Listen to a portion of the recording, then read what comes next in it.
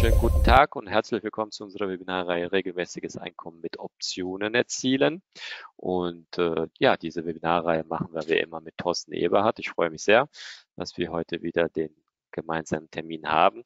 Und wer vielleicht am Montag an dem Webinar mit Markus Runau dabei war, hat ja schon mitbekommen, worum es heute sich handeln wird. Ich bin sehr gespannt, aber wer es noch nicht gehört hat, der wird es gleich von Thorsten hören. Ich freue mich, dass Sie heute live dabei sind. Bevor ich tatsächlich äh, den Bildschirm dann noch übergebe, will immer den Risikohinweis kurz besprechen. Ja, dieses Webinar dient ja äh, nur zu Schulungsinformationszwecken, unabhängig vom Inhalt müssen Sie Ihre eigene Entscheidung treffen. Das ist ganz wichtig und ich wollte schon fast sagen, insbesondere was Optionen betrifft, aber gilt natürlich für alles. Nichtsdestotrotz müssen Sie oder dürfen Sie bitte dieses Event nicht als Handelsempfehlung oder Anlageberatung verstehen. So, lieber Thorsten, dann übergebe ich sehr gerne, wünsche viel Erfolg, viel Spaß. Wenn irgendwas ist, ich bin im Hintergrund. Vielen äh, lieben Dank, Nelson. Ja, wir sind heute äh, wieder mal zusammen. Unsere Webinarreihe heißt ja regelmäßiges Einkommen mit Optionen. Und darum soll es auch heute wieder gehen. Ich habe es am Montag schon angekündigt. Also da hatte ich ja das Webinar mit dem Markus Runau, Tradescanner, toller Typ, tolles Tool. Ähm, und da habe ich schon gesagt, wir werden heute uns mal ein wenig mit den deutschen Werten, mit den DAX-Titeln beschäftigen, beziehungsweise mit den Dividendentiteln. Vorab für alle Leute, die mich, äh, für, für jene, die mich vielleicht noch nicht kennen, ich habe auch einen YouTube-Kanal und ich habe es auch schon beim letzten YouTube-Video am Sonntag gesagt. Da ging es um die US-Dividendentitel, dass ich auch äh, jetzt am Sonntag, also am kommenden Sonntag, ein Video machen werde. Und das geht genau um den Inhalt, den wir hier besprechen. Also, ihr habt das Glück, ihr seid sozusagen schon vorher informiert. Natürlich werde ich im Video noch das ein oder andere wahrscheinlich zeigen, was, was vielleicht hier nicht vorkommt, aber ich gehe mal davon aus, ihr seid auf jeden Fall besser informiert hier in dem Webinar als nur in dem YouTube-Video am kommenden Sonntag. Ich bin ja in einer Kooperation mit FXLET und das finde ich gut. Ja, ganz, ganz, ganz toller Broker und da haben wir uns auch darauf geeinigt. Für all jene, die bei FXFlat ein Konto eröffnen, bekommen bei mir äh, zwei Monate mehr Clubmitgliedschaft. Das heißt, normalerweise ist es bei mir im Club so, es geht für zwölf Monate. Ja, für zwölf Monate zahlt man derzeit 899 Euro. Wenn man jetzt aber sagt, ich will jetzt auch noch einen klasse Broker haben und ich habe noch keinen wirklichen, beziehungsweise ich habe noch kein Konto bei FXLET, dann kann man da natürlich ein Konto eröffnen und bekommt 14 statt 12 und bei jeder Verlängerung bleiben auch die 14 erhalten. Das heißt, dann profitiert man sozusagen auch nachhaltig. Ja, was wir hier im Club machen, das steht hier oben auch schön geschrieben. Ja, wir werden mit Regeln und Strategien versuchen, ein regelmäßiges Einkommen mit Optionen zu verdienen. Und was ganz, ganz wichtig ist, wir wollen unser Kapital auch absichern.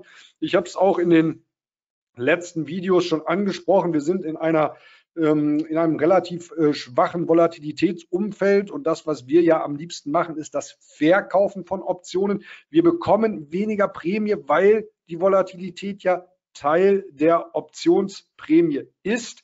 Und da ist es natürlich nur möglich, mehr Prämie zu verdienen, wenn wir näher ans Geld gehen. Ich mache mal kurz hier ein Beispiel. Wir haben jetzt hier die Aktie und hier verkaufen wir die Put-Option.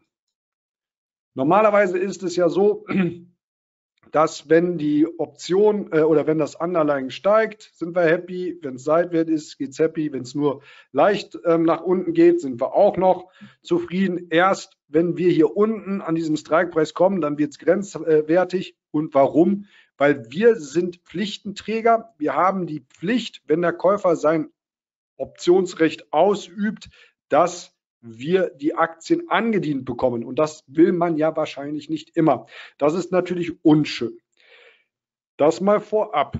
Aber was ist da jetzt mit der Volatilität? Ja, wenn die Volatilität jetzt niedrig ist, dann ist die Prämie auch niedriger, die wir bekommen. Wir könnten aber eine gleichbleibende Prämie uns generieren, wenn wir dann näher ans Geld gehen. Das heißt, wir gehen näher zum Kurs und das bedeutet ja schlussendlich, wir sind dann auch näher an dem Risiko, dass wir in die Pflicht kommen. Das ist das Erste. Das Zweite, grundsätzlich, niedrige Volatilität profitiert natürlich in dem Sinne als Verkäufer nur, wenn die Volatilität weiter sinkt. Wenn wir jetzt aber uns die Volatilitäten angucken und die bewegen sich so und wir sind jetzt die ganze Zeit schon hier unten, dann ist die Wahrscheinlichkeit natürlich gegeben, dass die Volatilität steigt. Happy sind die Käufer, nicht happy sind die Verkäufer. Was aber jetzt nicht zwingend bedeuten muss, dass wenn wir hier unten in der Volatilität sind, dass wir bald auf gut Deutsch eine höhere Volatilitäten erwarten müssen. Das ist nicht der Fall. Und das liegt natürlich auch daran, dass der Aktionär, der Anleger, der Marktteilnehmer zufriedener ist, wenn man einen ruhigen Markt hat und er hält natürlich diese Situation der Zufriedenheit länger aus als die Situation hier oben, wo die Unzufriedenheit, die Unruhe ist. Das heißt, sehr hohe Volatilitäten bleiben häufig nicht lange sehr hoch, aber niedrige, niedrigere Volatilitäten können definitiv länger bleiben. Was aber, long story short, nicht einem mehr Sicherheit zwingend bringen muss. Und deshalb machen wir beispielsweise im Club auch an der einen oder anderen Stelle Strategien, dass wir überlegen, was können wir machen, wenn jetzt die Volatilität doch steigen sollte, dass wir davon profitieren. Und da gehe ich mal kurz ins Clubdepot. Da haben wir jetzt hier einen äh, VIX Core Ratio Backspread eröffnet. Der kostet 31 Dollar. Ähm, der geht ähm, gut ab wenn ähm, die Vola steigt und ähm, das bringt uns noch ein wenig mehr Sicherheit. Es ist natürlich immer die Frage, was für Strategien man fährt, was für eine Kontogröße man hat und natürlich, wie weit der Wissensstand ist. Und da sind wir halt beim nächsten Punkt. Das ist ja das, was wir hier im Club machen. Wir tauschen uns ja aus. Das heißt, wir traden hier gemeinsam. Wir haben hier ein Clubdepot. Ja, kann ich hier nochmal kurz zeigen. Das ist unsere derzeitige Performance. 12 Prozent ist unsere Jahres, äh, äh unser Jahresziel. Derzeit sind wir bei 11,5, sind also zurzeit ganz gut aufgestellt. Ähm, wir haben unsere Live-Calls, wo wir uns austauschen. Wir haben die Tools, ne, kennen wir ja, O4W Best Indikator, den Best Screener, die haben wir alles. Das heißt, das sind alles Möglichkeiten, die man sich äh, oder die man nutzen kann, um schlussendlich auch mehr Sicherheit zu haben, ja, weil die meisten überreagieren ja aus Unsicherheit auf der einen Seite und auf der anderen Seite, was für mich ein viel, viel größerer Mehrwert ist, ist dieser intakte, diese intakte Community. Also wenn man hier bei Discord, da, äh, ich weiß, äh, äh, Eigenlob stinkt, aber das ist wirklich mega. Das ist wirklich mega. Das kann ich nur empfehlen und da tauschen wir uns natürlich auch aus. Was wir jetzt aber erstmal machen, wir gucken uns hier jetzt den Markt an. Und wenn, wir, wenn ich vom Markt rede, gucke ich mir meistens den amerikanischen Markt an. Das ist der S&P 500, hier der SPX. Und wir sehen es, heute haben wir hier erstmal eine weiße Kerze, das ist neutral, aber nichtsdestotrotz sind wir hier noch im bullischen Bereich. Hier hatten wir dieses grüne Long Open, das war für uns Signalgeber, dass es jetzt wohl aufwärts geht. Wir sind immer noch hier die EMA 20 oberhalb der EMA 50 und hier unten ist die SMA 200. EMA Exponential Moving Average, der exponentielle gleitende Durchschnitt der letzten 20 Tage beziehungsweise der 20 Kerzen. Wir haben aber jetzt hier Tagesansicht, also sind es auch 20 Tage. Die EMA 50 dann für 50 Tage und SMA Simple Moving Average, der einfache gleitende Durchschnitt, der ist zwei Tage. Wir sind also relativ, was heißt relativ? Wir sind äh, definitiv momentan ganz okay. Und wenn wir uns dann noch die Volatilität angucken, das ist die WIX-Terminstrukturkurve, kann ich auch immer wieder empfehlen, sich die auch zu Beginn der Markteröffnung, wenn es der amerikanische Markt ähm, eröffnet, sich die mal anzuschauen. Wir sehen es, die ganzen WIX Futures, die steigen, ja, die sind alle, werden sie teurer in der Zukunft. Das ist die Contango. Ja, und ähm, wenn sich der Markt umdreht, dann ist es so, dass die Frontkontrakte anspringen und dann entwickelt sich aus der Contango eine Backwardation. Dann sind wir in einem unruhigen Markt. Das mache ich sozusagen jeden Morgen mit meinen neun wichtigsten Panikzeichen in der Morgenroutine. Das bekommt man zur Verfügung gestellt, wenn man im Club ist. Aber für alle die ein bisschen moderner auch unterwegs sind. Ich bin ja da, muss ich ganz ehrlich sagen, so ein bisschen Social Media faul. Ähm, die können sich das auch jeden Morgen auf Instagram hier anschauen. Da wird meine Morgenroutine jeden Morgen auch gepostet. Ja, ganz, ganz wichtig. Was wir dann halt auch meistens machen, wenn der Markt ähm, eröffnet ist, dann kommt hier jeden Tag um 16.05 Uhr ein Update von den bullischen, bärischen Werten, auch ETF-Werte, ähm, gehen wir gleich drauf ein.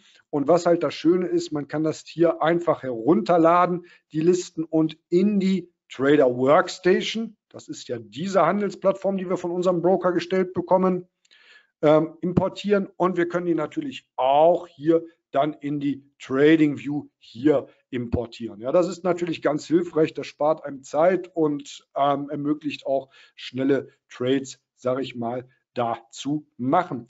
Thema heute, wie gesagt, ist der DAX und deshalb, wenn wir uns angucken, der DAX ist jetzt auch schon seit 22 Tagen long. Wir sehen es hier, hat ja einen ordentlichen Run gemacht. Wenn wir sehen, wir sind von 15,2 am 6. November. Das sind jetzt ähm, dreieinhalb Wochen bis heute, 6. Dezember ähm, um so viel gestiegen. Damit hätte man nicht gerechnet. Also das ist definitiv schon sowas wie eine Jahresendrallye. Und wir im Club sind ja auch investiert und zwar hier mit Porsche. Ja, das heißt, hier haben wir die Porsche. Äh, Aktie sind wir leicht im Minus. Die wurden uns dann mit 49,51 ins Depot gelegt und darauf haben wir eine Call geschrieben. Die Call ist jetzt ein bisschen niedriger, läuft bald aus bei 48. Müssen wir gucken, ob wir die vielleicht rollen müssen, weil zeitweise war die Porsche-Aktie schon unter 44 und dann haben wir halt auch die, die ersten Calls schon geschlossen, also profitabel geschlossen und dann weiter nach unten gerollt. Jetzt wäre natürlich für uns ähm, die Überlegung, wenn jetzt ähm, die Entwicklung weitergeht, dass wir die Call-Option hier noch mit wenig Verlust schließen und dann neu eröffnen. dann gucken wir uns das einfach mal an. Wenn wir hier wieder auf 50 gingen, ja, und wir müssten mal schauen, hier würden wir jetzt bei 50, würden wir jetzt um die 130 Euro bekommen. Aber wir könnten es natürlich auch länger machen. Und warum, das erkläre ich jetzt auch kurz.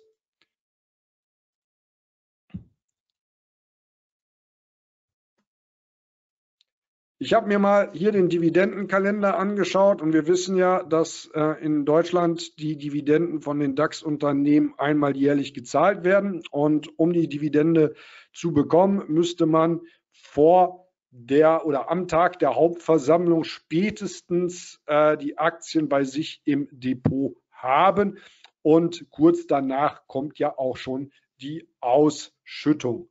Und ähm, hier kann man natürlich schon sehen, wann und wo hier die ähm, Hauptversammlungen sind und hier bei der Porsche Automobil Holding, ja, PAH, das ist ja die Aktie, die wir haben. Wir haben nicht die Porsche AG, wir haben die Porsche Automobil Holding. Ja, hier ist übrigens der Ticker auch ganz, ganz schön. P, äh, P911 ist der, ist der Ticker, glaube ich, davon.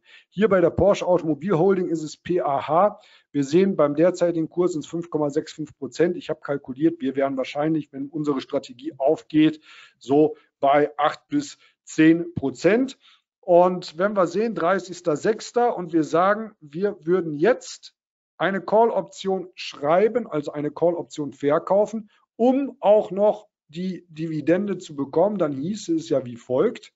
Hier ist dann jetzt, sage ich mal, die Hauptversammlung und auch der Dividendentag. Dann müssten wir natürlich die Option von heute bis nach der Hauptversammlung schreiben. Und das heißt, wir wären hier natürlich 30.06. war es eben, dann wäre das sogar noch zu früh. Dann würde theoretisch der nächste Wert dann der Septemberwert sein. Könnte man machen. Wenn wir uns das angucken, wären es dann 283 Dollar, wenn wir die 50 jetzt nehmen würden. Und das könnten wir jetzt mal spaßeshalber kalkulieren. Wir nehmen jetzt die 283, die wir bekommen,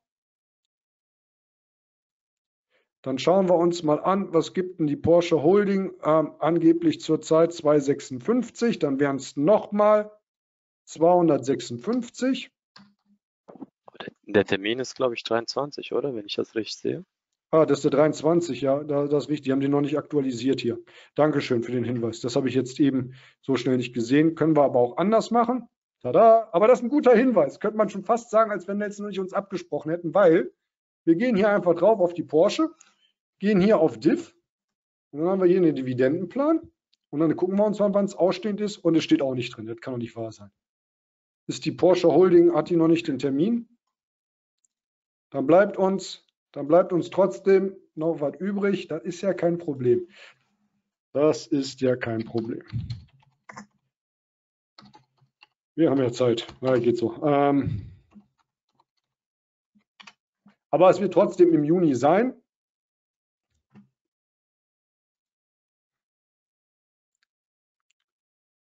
Steht noch nicht drin. Das ist interessant, aber das werde ich im Nachgang auf jeden Fall nochmal eruieren, weil spätestens, wenn ich das jetzt hier mache, dann muss ich es natürlich wissen, wann und wie ich das mache. Sollte die Ende Mai sein, würde ich natürlich eine Option wählen, die jetzt auf den 21. Juni geht. Nichtsdestotrotz kann man ja trotzdem auch kürzer laufende.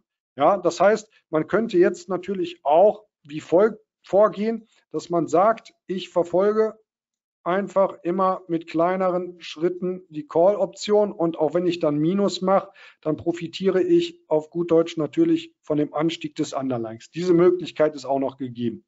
Das jetzt bei der Porsche Holding. Aber wie gesagt, da werde ich mich nochmal informieren. Hier aber beim Handelsblatt war ein ganz interessanter Artikel. Der ist erst kürzlich, ich glaube gestern oder vorgestern war der. Ähm, und wenn wir uns das jetzt mal angucken, da geht es um die ähm, Handelsblatt. Ähm, wie viel Dividendenrendite es ist und ob es hier eine Veränderung gibt. Und dann sieht man schon mal eins, hier oben sind schon echt fette Dividendenrenditen möglich. Und man sieht eins, zwei, drei, vier. Also die Porsche Holding, da gehen sie sogar hier von der Prognose aus, äh, dass da zwei Cent sind. Also, oder hier noch ein. Die Automobilisten ähm, sind auf jeden Fall die, die hier eine wirklich hohe ähm, Dividendenrendite zahlen. Und das liegt natürlich daran, ähm, dass nicht die Dividende erhöht wurde, sondern schlussendlich der Kurs ordentlichen Rückgang erlitten hat. Ja, und wir haben auch jetzt am Dienstag einen Trade der Woche gemacht, haben wir auch auf Porsche, nicht auf Porsche, auf Mercedes gemacht. Und dann gehen wir mal hier rein, gehen hier auf MBG, das ist die Mercedes-Benz Group. Und wir haben jetzt bei, bei ähm, 60 eine Put-Option verkauft, weil wir jetzt auf die Idee kommen, wir brauchen die Aktie ja schlussendlich erst, wenn die Hauptversammlung ist. Und dann könnten wir natürlich anstelle jetzt in den Wert direkt zu investieren, natürlich uns auch mit einer Put-Option hier bedienen. Ja, weil, wenn wir uns jetzt überlegen, vielleicht steht das wenigstens drin hier von der Mercedes-Benz Group, Hier haben wir es. Das ist der 8.5.24. Da könnte man natürlich überlegen, pass mal auf, ich mache jetzt folgendes, ich will die Aktie am 8.5.24 dann haben, ja, damit ich auch in die, äh, äh, als, als äh, Dividendenempfänger da registriert werde. Und dann gucke ich mal, was man hier machen kann. Wir gehen noch mal kurz zurück zum Chart. also wenn ich, wenn ich richtig gesehen habe oder hier recherchiert habe, dann wäre das der 26.06.24. Dankeschön. 26.06.24 ist die Porsche Holding und ähm, das ändert sozusagen nicht viel an dem, was wir hier machen könnten, weil hier wäre ja am 21. Januar, ne, jetzt hier bei unserer Bestandsaktie. Was wir jetzt natürlich auch machen könnten, ist, und das ist jetzt interessant bei der Porsche Holding. Ne? Porsche Holding ist ja jetzt nicht nur Porsche, sondern von mir, die sind ja auch beteiligt an Volkswagen etc. Deshalb finde ich ganz gut. Und ähm, hier könnte man natürlich so eine länger laufende Put-Option schreiben, also Put-Option verkaufen. Und dann gehen wir jetzt doch mal, um das Thema Porsche hier auch jetzt abzuschließen, in die Porsche Holding rein, gucken uns das an. Palim, palim.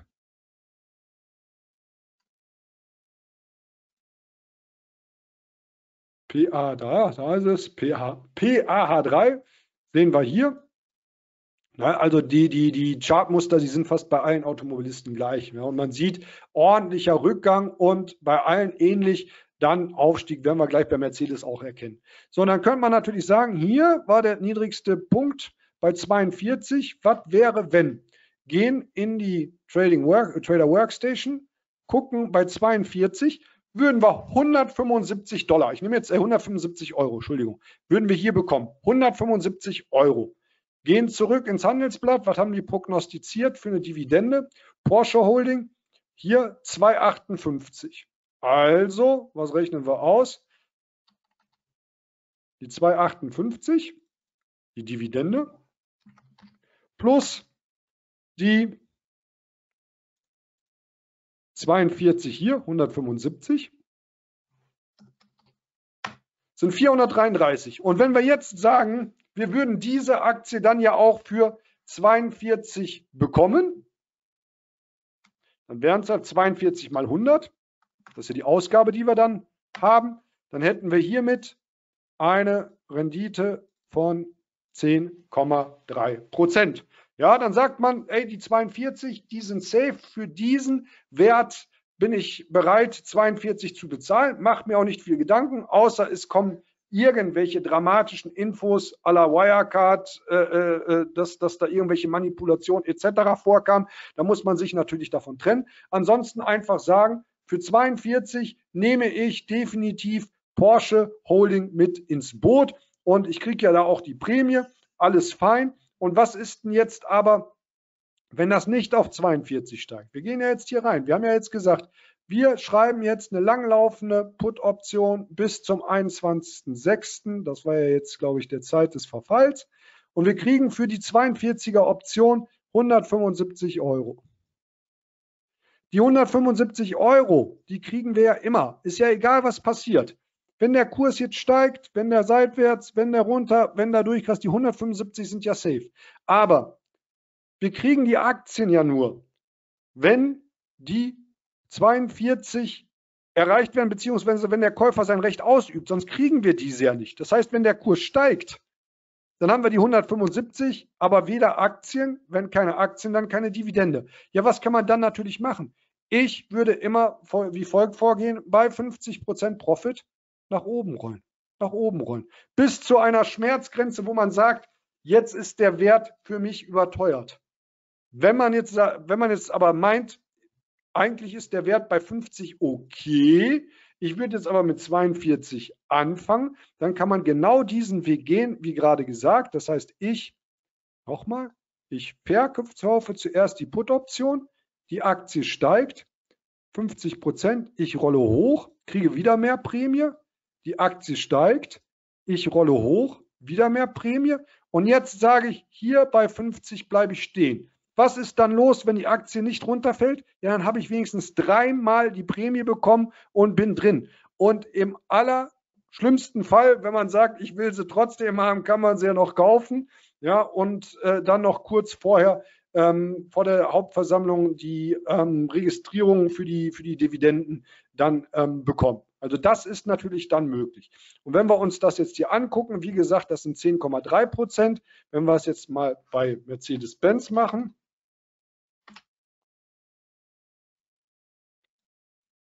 Gucken wir uns an. Wie gesagt, Muster ist ungefähr gleich. Man sieht es hier auch. Ende Oktober war tiefster Punkt. Gehen wir auch hier hin, gucken uns das an, wären ungefähr bei 55. 520. 8.5.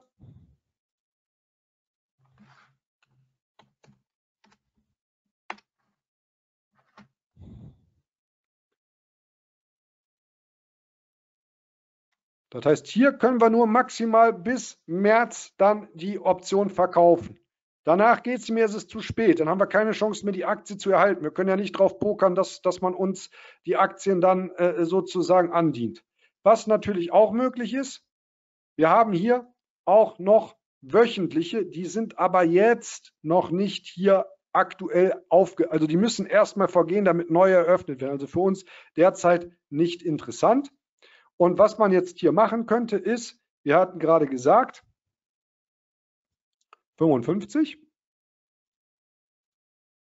55 gibt es jetzt nicht. Dann würde ich jetzt die 56 nehmen. Da würden wir jetzt für die 100 Tage 85 Euro bekommen. Und dann gehen wir nochmal, gleiches Spiel wie eben. Wir gucken uns an, das waren 5,20 Euro bei Mercedes.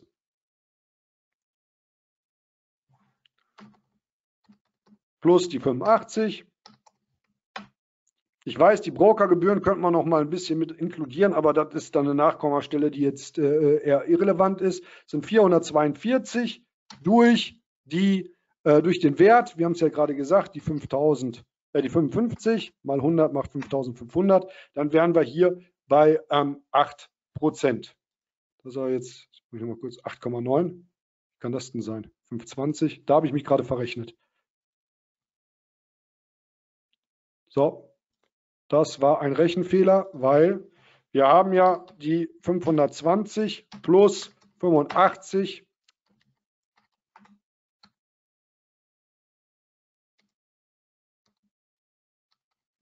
So, durch. Sieht schon besser aus. 11 Prozent. Muss ja, muss ja mehr sein als die jetzigen 8,9 Prozent. Das heißt, dann hätten wir 11 Prozent mit Mercedes-Benz Group. Was ich natürlich immer wieder machen würde, ist, bevor ich diesen Wert äh, äh, äh, investiere bzw. reingehe, ist natürlich, sich zu informieren. Natürlich ist sowas äh, ganz, ganz nett mit der Prognose. Alles tippitoppi. Aber was wir natürlich auch wissen müssen, ist, dass die Dividende auch nicht gezahlt werden kann. Das heißt, wichtig ist zu wissen, dass zum Beispiel das Unternehmen genug Gewinn, genug Cashflow hat, weil häufig ist das so, wenn man aus der Substanz bezahlt, was heißt aus der Substanz bezahlt? Wenn man mehr ausschüttet, als man schlussendlich hat, dann zahlt man aus der Substanz. Und dann kann es natürlich sein, dass das Management, dass äh, der Aufsichtsrat, dass man sich entscheidet, die ähm, Dividende zu kürzen bzw. zu streichen. Und wenn wir uns jetzt auch mal eine Homepage, die ich empfehlen kann, das ist Morningstar, hier sieht, hier kann man sich dann auch mal angucken, wie welche bewertet werden. Ja, man kann sich es auch ein bisschen noch genauer angucken, aber hier sieht man zum Beispiel etwas. Fresenius zahlt keine Dividende. Ja, und das ist natürlich dann auch schon extrem, wenn dann plötzlich hier mal eben so eine Dividende gestrichen wird beziehungsweise gekürzt wird. Wir haben nicht so eine Dividendenkultur wie in den USA. Da ist es äh, meistens eine größere Hürde, Dividende nicht zu zahlen. Aber schon alleine, dass so ein Unternehmen wie Fresenius keine Dividende zahlt, ist natürlich auch nicht gerade bestens. Wenn wir uns jetzt hier mal angucken, hier ist man noch vorgestern davon ausgegangen, dass Fresenius weiterhin seine 92 Cent auf die Aktie zahlt. Machen sie nicht, dann sind das hier wieder entgangene 3,3 Prozent. Das heißt, so eine gewisse Sicherheit sollte man natürlich haben. Wenn, und das sage ich jetzt auch, wenn wir jetzt aber sehen, wir haben jetzt 10,5 Prozent, 11 Prozent mit der Option etc., dann wäre es ja nicht schlimm wenn die Dividende gekürzt wird. Ja, ich sage es mal so, wenn am Ende 5% bei rauskommen, dann bin ich happy. Solche Werte hier sind natürlich auch immer in der Schwebe. Bayer BASF, Bayer, die Story kennt man. Ähm, wenn ich da mal kurz reingehen darf.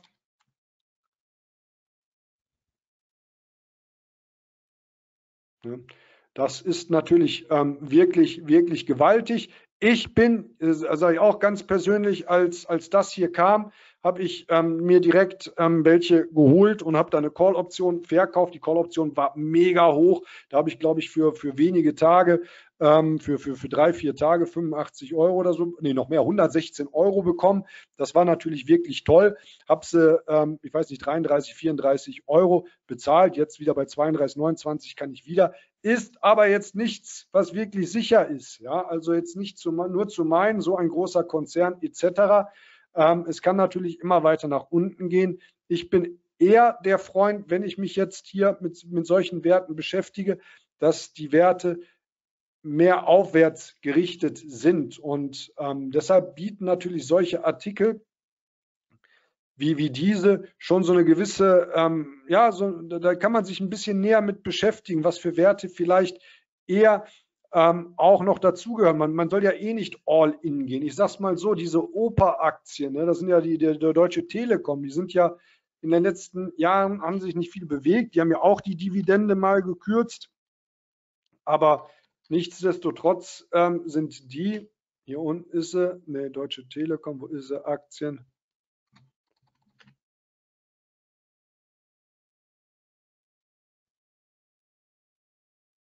Wo ist denn jetzt die deutsche, deutsche Telekom? Ist jetzt egal. Ah, nee, ist doch nicht egal. Aber wir haben es ja noch hier.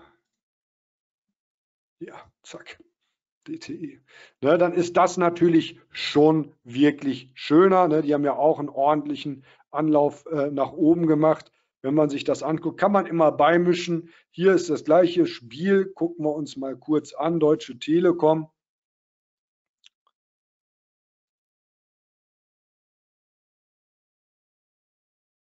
Ist der 10.4., also auch wieder im März.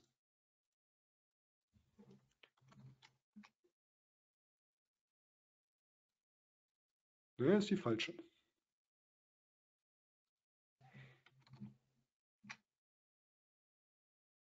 Hier.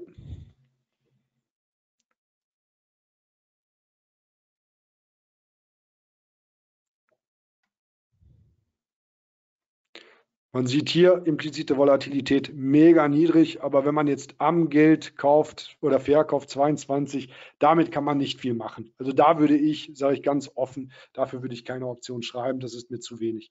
Was man aber hier sehen kann, und das ist das Schöne, wir haben hier zwei verschiedene, wir haben die DTE und die DTEE. Die DTE, also die ohne diesem weiteren E, die hat den amerikanischen Ausübungsstil, das heißt Käufer hat komplette Zeit, äh, während der kompletten Laufzeit äh, Ausübungsrechte, bei dem europäischen Ausübungsstil eh nur am Ende. Das ist vielleicht für Covered Call etc. ganz interessant. So, aber wie gesagt, was ich machen würde, ich würde mir als allererstes mir welche raussuchen, wo die implizite, äh, wo die, wo die Dividende ein bisschen höher ist, wo die Dividende nicht aus der Substanz, das heißt die Dividendenausschüttung sollte nicht ober oder über dem äh, Free Cashflow liegen, ja, nicht Gewinn nehmen, sondern Free Cashflow, weil das ist sozusagen das, was übrig bleibt nach Investitionen etc. Ähm, Bilanzkosmetik ähm, ist bei, bei Gewinn leicht möglich, könnte gefährlich sein, deshalb da würde ich immer auf den Cashflow gehen. Das ist das Erste. Das Zweite, was ich auch machen würde, ich würde es mir charttechnisch ein bisschen angucken, ja, also wie es ausschaut. Ist das jetzt eher aufwärts? Ist es äh, abwärts, äh, seitwärts? Ganz wichtig. Dann noch ähm, das Letzte. Ich würde mich mit dem derzeitigen Umfeld erkundigen. Was ist da gerade los? Ne, wie beispielsweise jetzt hier gerade mit Fresenius. Ist das jetzt etwas, was überraschend kam oder war es vorhersehbar?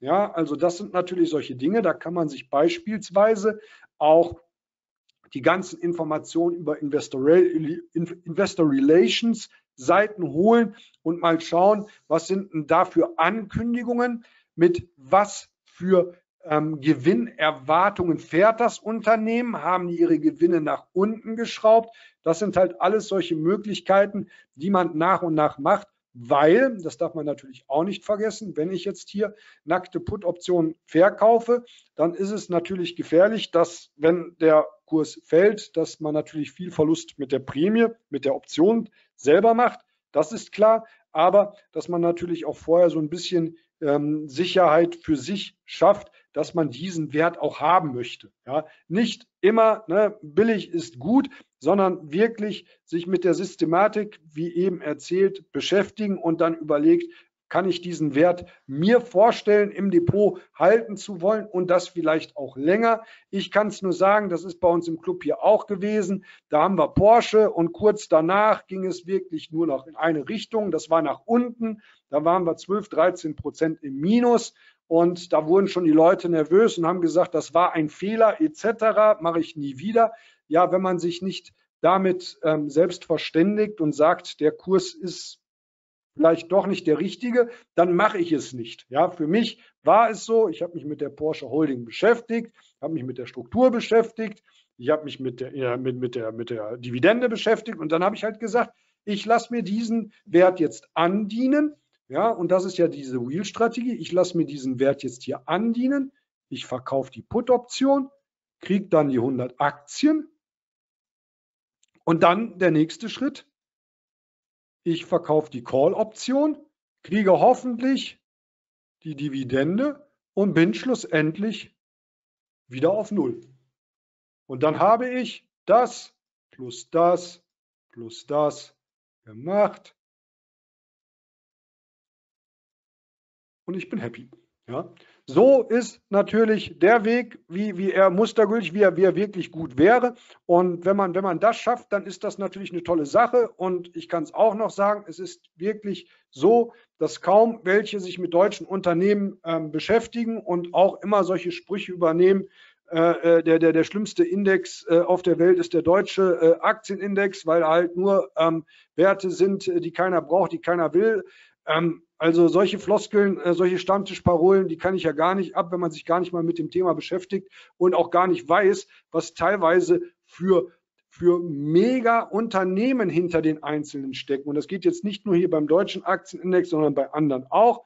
Man kann ganz einfach auf der Investor Relations sich die Haupt, äh, die, die Geschäftsberichte mal runterladen. Die werden in Deutschland viel, viel besser aufbereitet als in den USA. Und dann kann man sich einfach mal damit beschäftigen ähm, wie es ist. Wenn man, sich jetzt, wenn man sich jetzt mal überlegt, Mercedes oder BMW, die Überlegung habe ich mir auch gemacht, ob ich Mercedes oder BMW nehme, dann kann man sich natürlich auch noch mal angucken, was ist denn jetzt eigentlich, was ist denn jetzt eigentlich los, der Unterschied. Ne? Also BMW hat beispielsweise Motorräder, Mercedes nicht von wegen, wie sind die Financial Services von Mercedes und BMW. Und dann beschäftigt man sich automatisch mit dem Markt und dann kommt man vom Automarkt, dann sieht man auf einmal, was da für ein Fortschritt bei Mercedes mit den äh, äh, Elektroautos ist. Dann vergleicht man die vielleicht mal mit Tesla. So kommt der Stein ins Rollen und dann beschäftigt man sich damit und wird, long story short, ein Investor. Ja, und dann kann man auch mit ein bisschen mehr Ruhe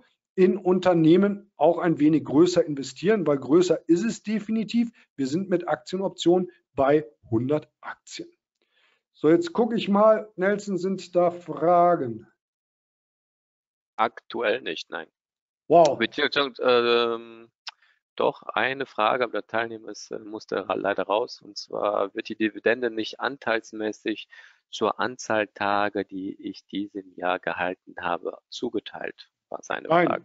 Du, du kriegst, äh, also theoretisch kann man es ja so machen, äh, man holt sich in der Hauptversammlungstag die Aktien, äh, zwei Tage später kriegt man die Dividende und dann kann man sich die Aktien natürlich wieder veräußern. Natürlich ist es aber so, dass die Aktien nach der Ausschüttung auch entsprechend der Dividende verlieren. Ja, und ähm, da ist natürlich Vorsicht geboten. Die Frage kam auch bei uns im Club. Ne, äh, ist doch eigentlich Blödsinn, äh, weil ähm, der Kurs, der verliert ja an Wert, beziehungsweise die Option, wenn die Dividende da ausgezahlt wird. Jetzt muss man sich doch mal einfach mal überlegen.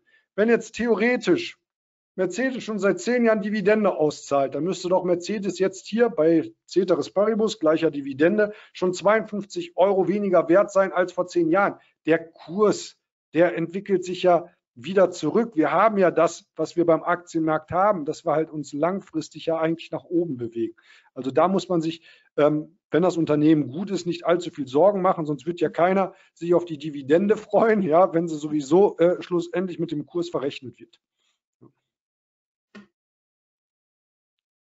Genau, sonst keine Fragen aktuell. Super.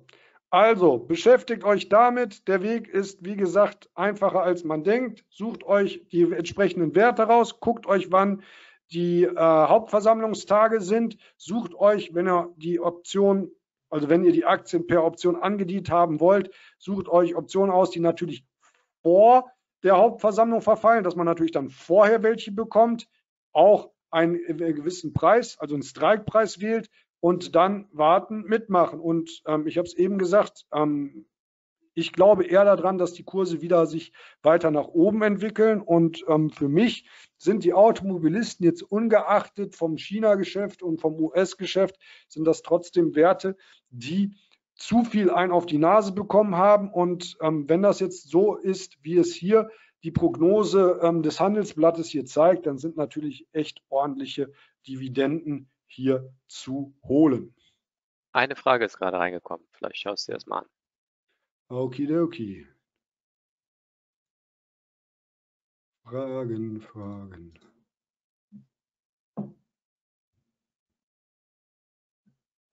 Ja, die 20, die 20k, die haben mit der Dividende gar nichts zu tun. Da gibt es einen äh, Steuertopf äh, für, die, für, die, für die Dividenden. Also das ist halt Ach ja, das ist immer das Traurige, dass man in Deutschland immer so viel über Steuern nachdenken muss. Nee, also ähm, äh, die, die Dividenden, die werden halt anders versteuert. Die haben jetzt aber mit den 20k Verlustverrechnung nichts zu tun.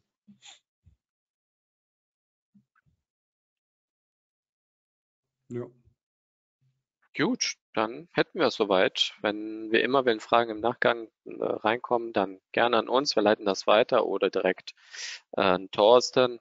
Vielleicht kannst du ja nochmal deine Kontaktseite nochmal zeigen, Thorsten. Genau, ähm, hier kann man natürlich mich direkt auch anschreiben, ja, entweder per Newsletter oder hier draufklicken. Dann geht die E-Mail an mail at optionsforwinners.de. Und am Schluss möchte ich euch auch noch bitten, Daumen hoch für dieses Video, wenn es euch gefallen hat. Ne, der Nelson wird das oder FXZ wird das zeitnah hochladen. Das wäre super. Ein Daumen hoch. Äh, vielleicht auch nochmal, falls jemand nicht abonniert hat, sowohl FXFlat und auch vielleicht meinen Kanal Options for Winners abonnieren. Würden wir uns sehr freuen und wären auch dankbar. Definitiv. Äh, dann äh, auf jeden Fall vielen Dank, Thorsten, für das Webinar. Wir sehen uns ja dann äh, nochmal einmal äh, das letzte Mal dann nächste Woche im Jahr 2023 und ich würde mich natürlich freuen, wenn Sie auch wieder mit dabei sind. Es wird dann auch in 24 dann auch mit dieser Webinarreihe weitergehen, aber dazu dann nächste Woche mehr. Bis dahin natürlich viel Erfolg und äh, passen Sie auch für die Positionen auf und wie immer hast du das Schlusswort. Dankeschön. Ja, vielen, vielen lieben Dank. Ähm, wie gesagt, lernt Optionshandel, guckt unsere Webinare an, stellt eure Fragen. Nämlich das Wichtigste, was man gegen Unsicherheit tun kann, ist Wissen sich anzueignen und natürlich dann schlussendlich auch die Erfahrung. Wir würden euch gerne dabei begleiten und dank euch wünschen euch noch einen schönen Nachmittag. Bye bye.